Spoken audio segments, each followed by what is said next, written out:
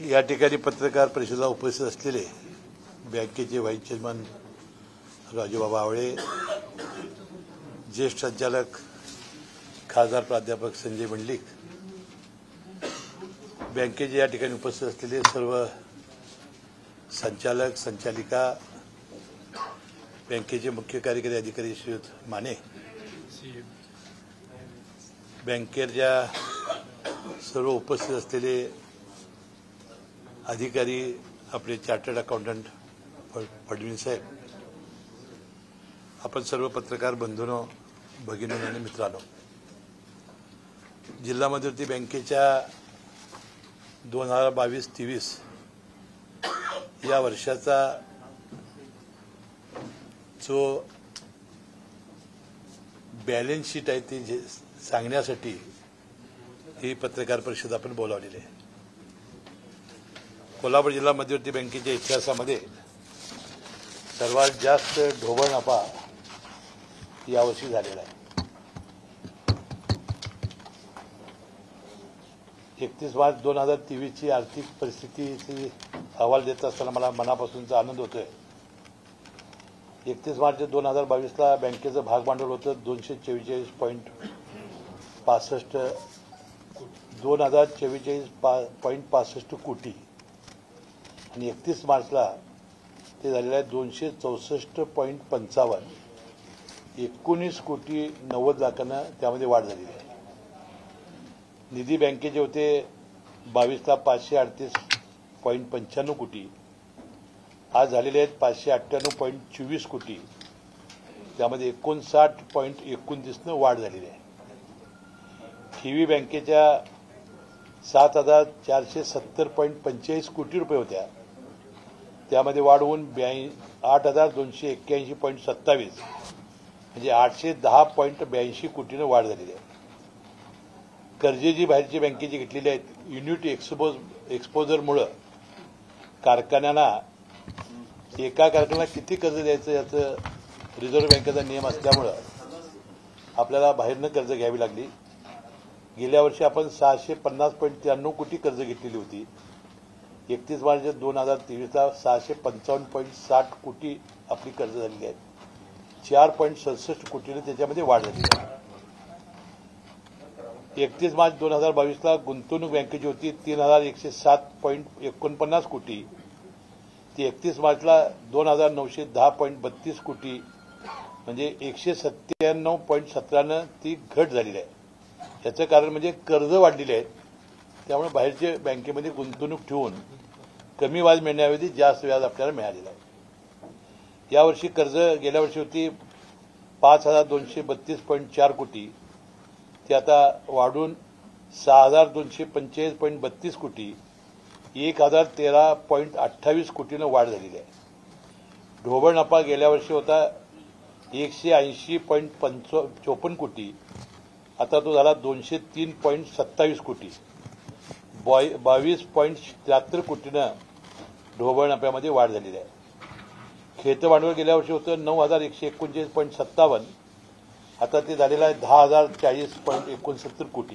म्हणजे नऊशे दोन पॉईंट बारा कोटीनं वाढ झालेली आहे. प्रतिशाखा व्यवसाय होता सहासष्ट पॉईंट शहाण्णव लाख. आता तो झाला आहे शहात्तर पॉईंट पाच लाख. गेल्या वर्षीपेक्षा नऊ पॉईंट नऊ लाखानं वाढ झालेली आहे. प्रति कर्मचारी व्यवसाय होता नऊ पॉईंट शेहेचाळीस लाख. आता तो बा कोटी. आता तो बारा पॉईंट दहा कोटीनं वाढलेला आहे. दोन पॉईंट चौसष्ट लाखानं तो वाढलेला आहे. नफ्यातील शाखा एकशे एक्क्याण्णव आहेत. एकशे एक्क्याण्णव आपल्या शाखा आहेत. त्या सगळ्याच्या सगळ्या नफ्यात आहेत. तोट्यातील शाखा झिरो आहेत. नक्त ए झिरो टक्के आहे. ढोबळ एन पी ए तीन पॉईंट त्र्याऐंशी टक्के होता. तो वाढून चार पॉईंट तीस टक्के झाला आहे. पॉईंट सत्तेचाळीसनं थोडी वाढ झालेली आहे. आणि सी आर ए आर गेल्या वेळा चौदा पॉईंट आठ टक्के होता चौदा चौदा टक्के झालेला आहे. आता हा झाला एकतीस मार्च दोन हजार तेवीसची आर्थिक स्थिती. आता हे आमच्या प्रशासनाने संचालक मंडळापुढं जे ठेवलेलं आहे त्यामध्ये ढोबळ नफा दोनशे तीन पॉईंट सत्तावीस कोटी. त्यानंतर अपात्र कर्जमाफीसाठी आपण व्याजाची तरतूद करतोय. अकरा पॉईंट शहाऐंशी कोटी. सेवा संस्था सचिव पगार आणि सक्षमीकरण निधी एक कोटी साठ lakh. Personal accident insurance scheme तरतूद एक कोटी पंचवीस लाख. स्टँडर्ड असेट प्रोव्हिजन चार पॉईंट त्रेपन्न कोटी. कर्मचारी बोनस अनु सानुग्रह अनुदान नऊ टक्के प्रमाणात सात कोटी सत्तावन्न lakh. N P A provision आपण केली पासष्ट कोटी पन्नास लाख. स्पेशल रिझर्व्ह फंड दोन कोटी. रुरल डेव्हलपमेंट फंड वीस कोटी तीस लाख इन्कम टॅक्स तेवीस कोटी सहासष्ट लाख.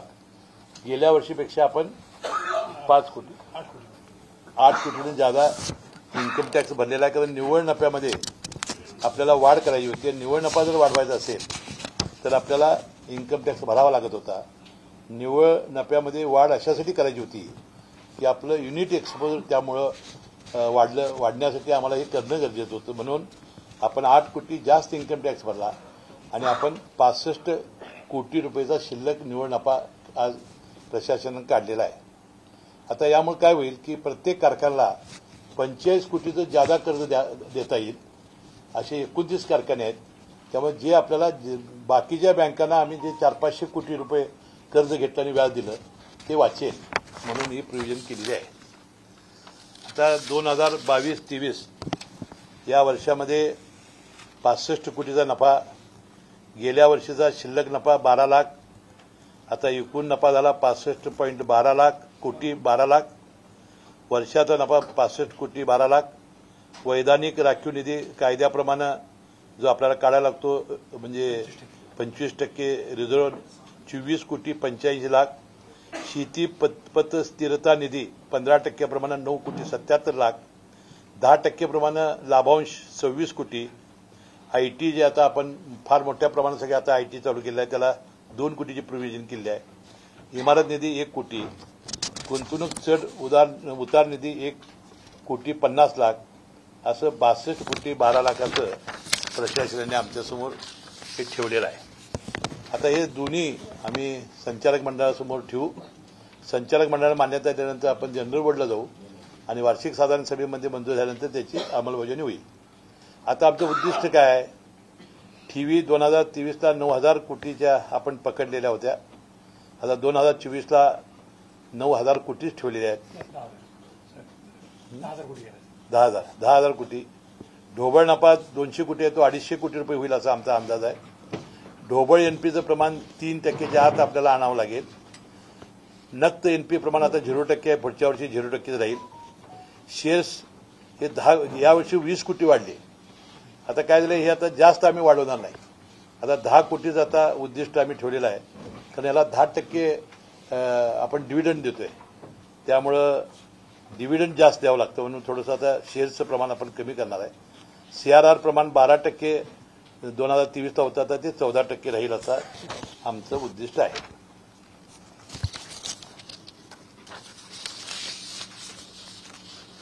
आता याच्यामध्ये दोन तीन गोष्टी तुम्ही जर लक्षात घेतल्या की गेल्या वर्षभरामध्ये तीन तिमाहीमध्ये रिझर्व्ह बँकेनं पतधोरण त्यांचं जाहीर केलं. आणि त्या चारही तिमाहीमध्ये म्हणजे वर्षभरामध्ये प्रत्येक वेळा त्यांनी रेपो रेट वाढवला. रेपो रेट वाढल्यामुळे व्याजात ठेवीच्या व्याजामध्ये फार मोठ्या प्रमाणात वाढ झाली. गेल्या वर्षी नॅशनलाइज बँकेच्या ठेवीचा दर तीन चार टक्के होता. आता जवळजवळ आठ टक्क्यापर्यंत गेलेला आहे. म्हणजे याचा अर्थ असा की देशभरामध्ये लोकांचं बँकेमध्ये पैसे ठेवण्याचं प्रमाण हे कमी झालेलं आहे. लोक हे सोनं जमिनी फ्लॅट्स त्यानंतर म्युच्युअल फंड यामध्ये तर वापरतातच पैसे घालतात. परंतु सगळ्यात मोठा धोका जो आहे तो मार्केटिंग चेन निर्माण झालेले आहेत आणि बोगस बाजार वगैरे यामुळं शेकडो कोटीचं हे आपल्या बँकामध्ये येणारं ठेव कमी झाली. आणि ती या अशा व्यवसायामध्ये गेली की हजारो कोटीचं हे नुकसान झालेलं आहे. माझी विनंती ठेवीदारांना आहे की ठीक आहे तुम्हाला कुठल्या बँकेत व्याज जास्त मिळते तिथं ठेवा तुम्ही. परंतु अशा भूलभुलयांना अजिबात फसू नका. आता एक एक माझ्या कानावर जे येते ते कुठले बाजार कुठले ते मार्केटिंग चेन्स त्यामध्ये म्हणजे हजारो कोटी रुपये आणि विशेषतः याच्यामध्ये सातव्या वेतन आयोग घेणारे कर्मचारी ह्यात जास्त अडकतात असं माझा आता अनुभव आहे. तर या निमित्ताने बँकेमध्ये ठेव ही सुरक्षित असते. याला रिझर्व्ह बँकेचं संरक्षण असतं. आणि आपल्याला किमान दहा ते पंधरा टक्के वाढ ही वर्षाला ठेवीमध्ये झाली पाहिजे. संपूर्ण देशामध्ये याबद्दल बघितलं आपण तर सगळ्याच बँकेचा क्रंच या निमित्ताने तयार झालेला आहे. आता गेल्या वर्षीच्या उद्दिष्टापेक्षा आम्ही काय फार लांब राहिलो नाही. जेवढं गेल्या वर्षी उद्दिष्ट आम्ही ठेवलं होतं ते पूर्ण झालेला आहे. काही प्रसार माध्यमांनी आज अंदाज दिले आहेत कारण थोडेसे पुढं मागं झालेले आहेत त्यांचे. तरी सुद्धा आज आता मी ही माहिती तुम्हाला सगळी दिलेली आहे याची तुम्हाला सगळ्यांना आता आम्ही प्रेसनेट देतोय. आणि म्हणून मला एका गोष्टीचं माझ्या सर्व ठेवीदार हितचिंतक नंतर बँकेचे कर्जदार आणि जे ग्राहक आहेत त्यांचं मनपूर्वक आभार मानले पाहिजेत. कारण अकरा जानेवारीला आपल्या बँकेवर ईडीची छापा झाला. नंतर या दोन अडीच महिन्यामध्ये बँकेबद्दल अनेक बातम्या प्रसारित झाल्या. कदाचित ठेवीदारांनी इतका विश्वास दाखवला आपल्या लक्षात आलं असेल की अशा या काळात सुद्धा फार मोठी दैत्यप्यमान प्रगती या बँकेने केली. त्यामध्ये ठेवीदार ग्राहक हितचिंतक यांचं तर मनपूर्वक मी अभिनंदन करतोच. त्याशिवाय जे अधिकारी आहेत की दोन अडीच महिने ज्यांनी त्यांची मानसिकता आपण बघितली असेल त्या क्ष त्यावेळेला सुद्धा अतिशय धैर्यानं संयमानं ते पुढे गेले आणि या बँकेचा एकतीस मार्च दोन हजार तेवीसचा ताळेबंद जो अपेक्षित होता सगळ्या कोल्हापूर जिल्ह्याच्या जनतेला ते करण्यामध्ये ते यशस्वी झाले. त्याबद्दल अधिकाऱ्यांचं सर्व कर्मचाऱ्यांचंही मी मनपूर्वक आभार मानतो. आणि माझं सर्व सभासद आणि बँकेचे सर्व संचालक की ज्यांनी तुम्ही सहज आता लक्षात जर घेतला असेल या गेल्या सहा सात वर्षामध्ये टी व्हीमध्ये किती वाढ झाली बघा. जवळजवळ सहा हजार कोटी साडेपाच हजार कोटी साडेपाच हजार कोटी या गेल्या सहा वर्षामध्ये आमच्या या संचालक मंडळाच्या काळात आपण वाढ केली आहे. म्हणजे वर्षाला हजार कोटी हे वाढलेले आहे. म्हणजे इतका प्रचंड विश्वास त्या सगळ्यांनी दाखवला. त्यांचेही मी मनपूर्वक आभार मानतो. तुम्ही प्रसारमाध्यमाने आम्हाला जे वर्षभरामध्ये सहकार्य केलं तुमचंही मनपूर्वक आभार मानतो. आणि या ताळेबंदाबद्दल आपल्याला काय विचारायचं विचारा.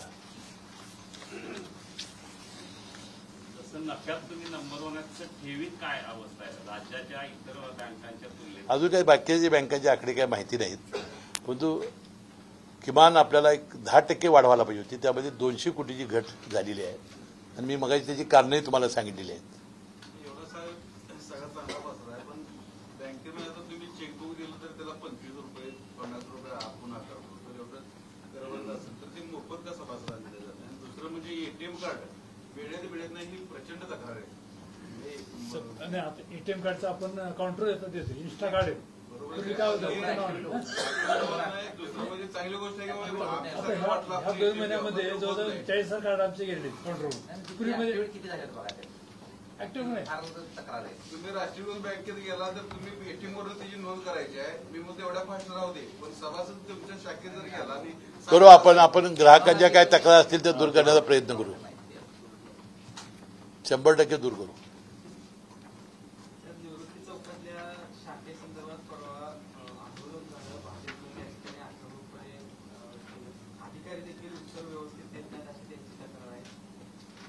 निवृत्ती चौक शाखेमध्ये संजय निराधार यांचे खाते मोठ्या प्रमाणात आहेत. आणि तिथे एकदम पाचशे लोक सहाशे लोक येत आहेत. त्यामुळे थोडं त्यांना आम्ही बाहेर थांबा एकेकाने या असं मी विनंती करतो असतो. पण काही लोकांचं म्हणणं आहे की आम्हाला आतमध्ये बसायची परवानगी द्या सगळ्यांनाच एवढं शक्य होत नाही. आता आम्हाला एनपीसीआयनं आता परवानगी दिली आहे. आम्ही आता ते घरोघरीच संजय गांधी निराधी पैसे वाटण्याचा या या वर्षीपासून आपण कार्यक्रम घेणार आहोत.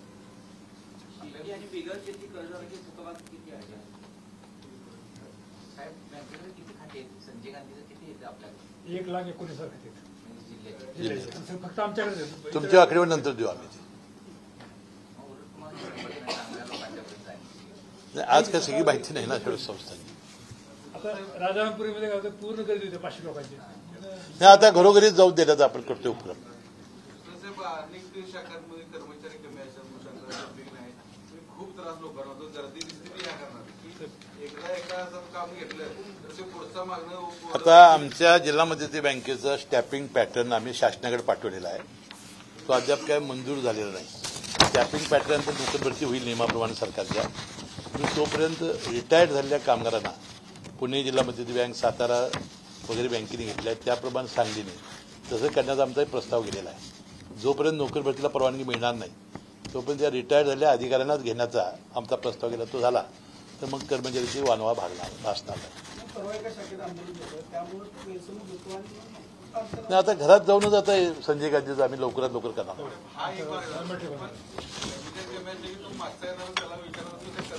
ते थांबले नाही बरोबर आहे. नाही आमचा स्टॅपिंग पॅटर्न प्रमाण तीनशे ते चारशे कर्मचारी किंमत आहेत पाडव्याच्या पोटात किती पिढी झाल्या चोवीस कोटी आले. चोवीस. हायस्ट झाले यावेळेस. दरवर्षी तेरा बारा तेरा तेरा बरोबर यावर्षी चोवीस कोटी. चोवीस कोटी. बरं. साहेब दरवर्षी तुम्ही हे देता आपल्याला व्यवस्थित अगदी देखील देता पण विनंती अशी होती की आमच्या आम्ही अभिनंदन करतो आधी कोणाला माहिती नाही दुसऱ्या दिवशी या औपचारिकता असं अनेकांचं मत आहे ते बोलायचं मी बोलायचं म्हणून मला नाही, हे पहाटे पहाटेपर्यंत लोकांनी बसून केलं. नाही नाही आणि या वेळा काय झालंय की पहाटे संपला हा कारण यावेळा जिल्हा मध्यवर्ती बँकांना आणि सगळ्या देशातल्या बँकांनी रिझर्व्ह बँकेनं एकतीस तार एकतीस मार्च उघडं ठेवायला सांगितली. एकतीस मार्च बंद असायची. ते आठ वाजता सगळं बंद झालं. बंद झाल्यानंतर आमचं बॅलन्स शीट निघायला चालू झाली. आणि त्यामुळं नाही ते काय, आता दोनशे तीन आहे आमचं. दोनशे वीस दिलंय. ठेव चौऱ्याऐंशी कुठे आहे? ब्याऐंशी कुठे आहे आमची? आता अंदाजे आता आता अति अधिक ऍक्टिव्ह जर असतील कोण तर तर आता आपण काय करणार? आपण काय?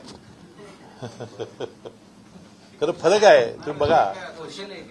हा तो आता त्याचा ज्याचा त्याचा कौशल्याचा भाग आहे त्याला आता काय येणार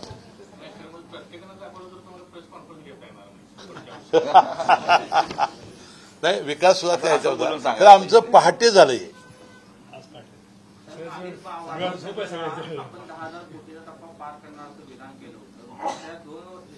टप्पा पार केला गेला. तेच तुम्हाला सांगितलं मी. ठेवीमध्ये वाढ होणं अतिशय आवश्यक आहे. कर्मचारी अधिकाऱ्यांनी काम करण्याची आवश्यकता आहे आणि लोकांनी मानसिकता बदलण्याची आवश्यकता आहे. ते पैसे कुठे गेले मग सांगितलं.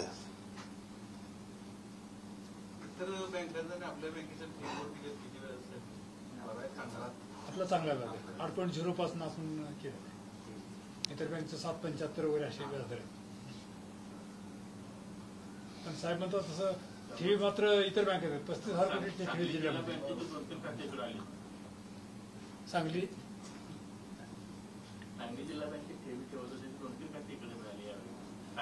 आपण गुप्त ठेवलं पाहिजे सगळं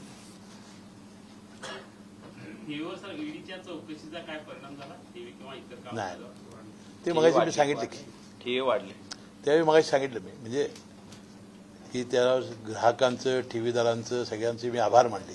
किंवा या परिस्थितीत सुद्धा बँकेचा अतिशय चांगला नफा ढोबळ नफा बँकेचे बाकीचे पॅरामीटर्स करण्यामध्ये आपण यश मिळवलेलं आहे. ताळेबंद साहेब दहा हजार दहा कोटीच्या वरती ताळेबंद गेला आपला. आणि झाले यावर्षी वीस कोटी शेअर दिले सभासदांनी सेवा संस्था सागर सुनिल सर्वांनी. शेअर कॅपिटल वाढणं आणि स्वतःचं भांडवल वाढणं म्हणजे बँकेचं स्वतःचं फार मोठ्या प्रमाणात शक्ती वाढणं असा त्याचा अर्थ आहे.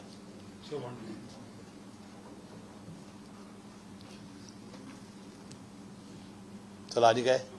नाही साहेब आपल्याला आमच्या या सगळ्या मंडळींकडून नुकत्याच झालेल्या वाढदिवसाच्या शुभेच्छा आहेत थँक्यू विषय असा आहे की या वर्षीचा वाढदिवस बघितला आपण तर खूप सगळीकडे महाआरत्या आणि प्रचंड उदंड प्रतिसाद होता. माझ्या वाढदिवसाबद्दल जे विविध कार्यक्रम लोकांनी घेतले जिल्ह्यातल्या सर्व पक्षीय त्यांचा मी मनपूर्वक आभारी आहे.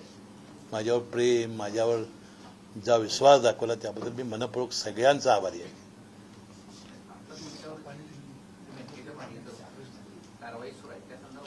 नाही आज काय आज त्याच्यावर काय बोलणार नाही.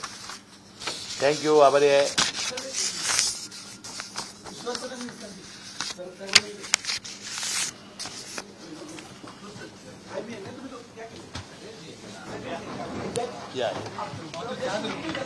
इथे इथे पुढे या तुम्ही साहेब इथे या. इकडे या. इकडे इथं वर इथे काढते काढ कोण देणार आहे? या.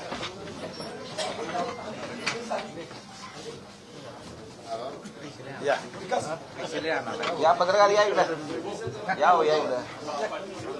विकास या विसर या या हा.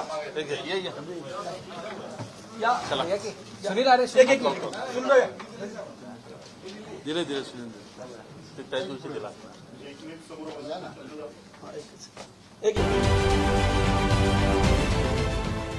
देश विदेशातील प्रत्येक घडामोडींचे लाईव्ह अपडेट मिळवण्यासाठी आता साम टीव्हीच्या सर्व सोशल मीडिया प्लॅटफॉर्मला लाईक फॉलो आणि सबस्क्राईब करा. तसंच सर्व नोटिफिकेशनसाठी बेल आयकॉन प्रेस करायला विसरू नका.